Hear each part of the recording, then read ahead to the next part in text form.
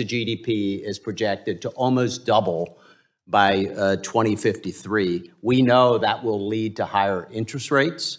It'll lead to slower economic growth, reduced economic stability, uh, and it'll squeeze out government services. Uh, not to mention a sovereign debt crisis, which will occur based on history at some point. We don't uh, know when.